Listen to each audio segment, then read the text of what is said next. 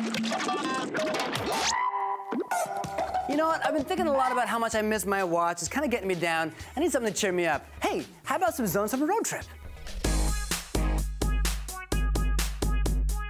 Hey guys, welcome back to Central New Brunswick Woodmen's Museum. Lisa and I are about to face off in the ultimate lumberjack competition against Darren and Alice. Got any advice for us so we can win? Just let your saw do all your work and your partner as well. These guys might have the professional advice, but I mean, we look the part. Come on, am I right? Am I right? What do you guys think? Who's gonna win?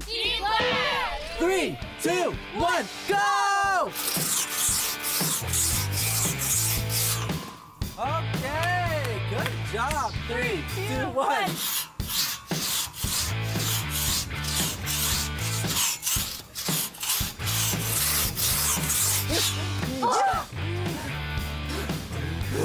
Okay, guys, the final event is axe throw. Sookie versus Lisa.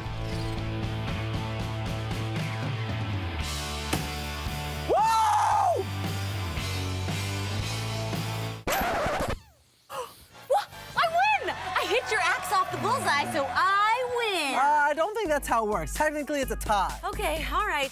Put her there. Put her there. Congratulations. Yeah. Uh, we wanted to thank the Central New Brunswick Woodmen's Museum for having us and Darren and Ellis for showing us how to be lumberjacks.